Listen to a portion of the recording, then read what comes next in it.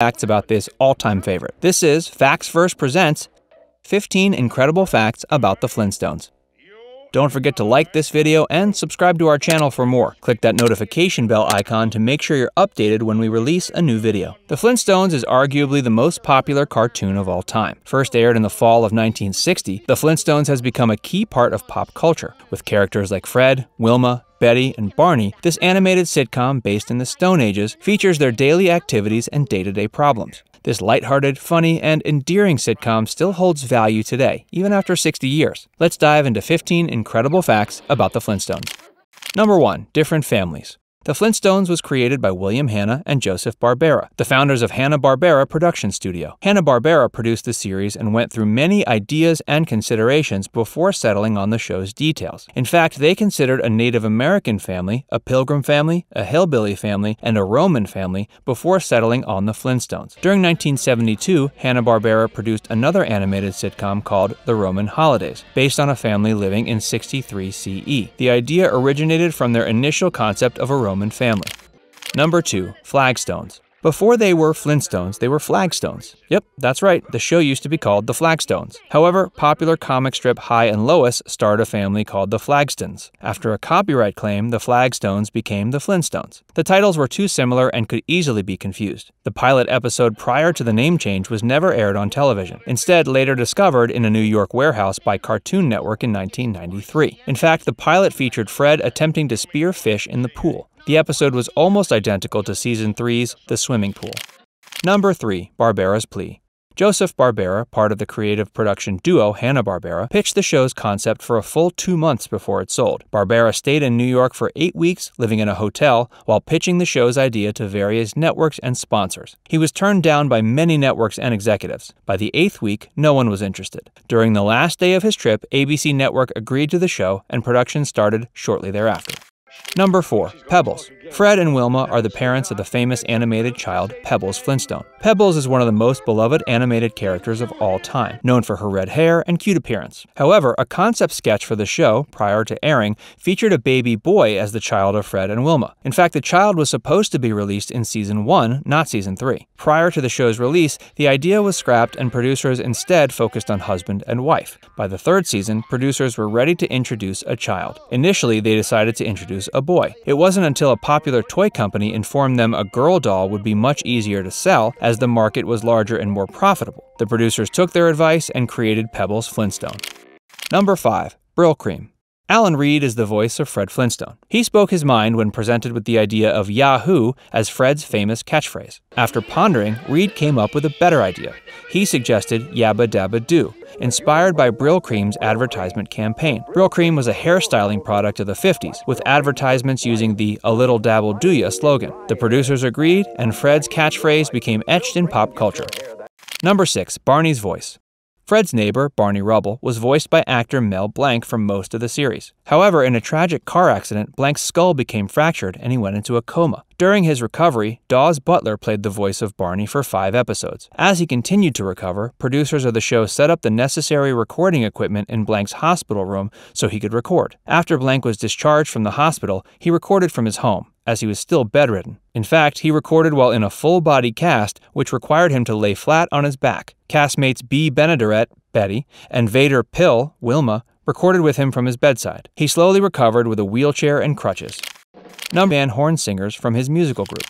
Number 8. Bugs Bunny's Inspiration. Even though the theme song for season 3 was based on Beethoven, season 1 and 2 were based on another sitcom. Prior to season 3, the theme song was called Rise and Shine. This theme song was inspired by the Bugs Bunny show. However, in the third season, producers decided to change it, perhaps due to the fact Bugs Bunny also aired on ABC. In fact, in 1960, ABC released a closed circuit presentation for ABC affiliates. The clip showcased Hal Peary, along with two other actors, debating the decision to keep Bugs Bunny or Flintstones on air. The actors were fighting over the network's decision. They introduced both shows with a bit of comedy and dialogue in between.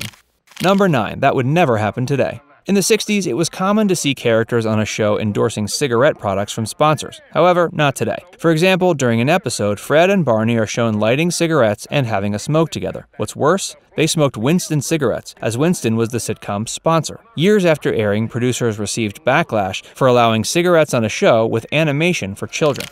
Number 10. Suing. Yes or no? Actor Jackie Gleason debated suing Hanna-Barbera. Gleason starred on The Honeymooners, a show with countless similarities to the Flintstones. During an interview, Gleason said he considered pursuing legal action against the production company, but eventually decided against it. Gleason stated he didn't want to be the person who took the beloved character Fred Flintstone off the air. Hanna-Barbera commented on the situation and said they took the comparison as a major compliment.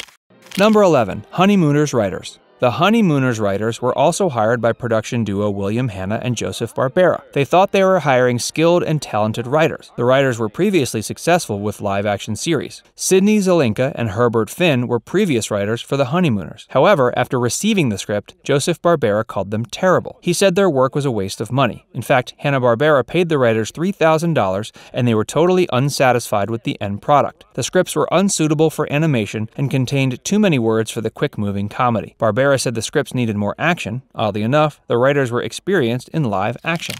Number 12. Breaking Boundaries. The Flintstones was the first and only animated series at the time to feature spouses sleeping in the same bed. To be technical, 1947's Mary Kay and Johnny slept in the same bed also. However, The Flintstones was the first animated series to normalize this.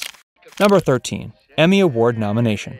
The Flintstones became the first ever animation to receive an Emmy nomination for Outstanding Comedy Series. However, the award went to The Jack Benny Show in 1961. Interestingly enough, The Flintstones was nominated for the award in their first season. The first season received a 100% approval rating based on nine industry critics. However, not everyone agrees with this. While the series is often called a classic, many critics note that times have changed, and the series is not as popular as it used to be.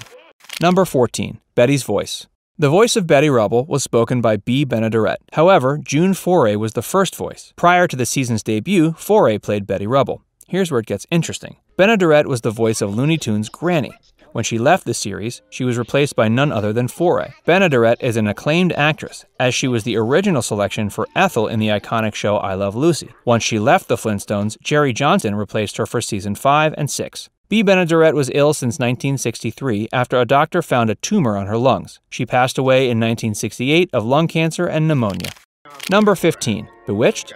During the sixth season, Samantha and Darrin Stephens appeared in the sitcom. Frank, Barney, and Darrin go camping alone, saying women cannot participate as it's too rough. The women won't back down as Samantha takes Wilma, Betty, and their children camping using her magical Twitch nose. The episode follows the women as they attempt to show out the boys. In fact, this is not the first time Bewitched and the Flintstones have worked together, as the opening animation for Bewitched was produced by Hanna-Barbera.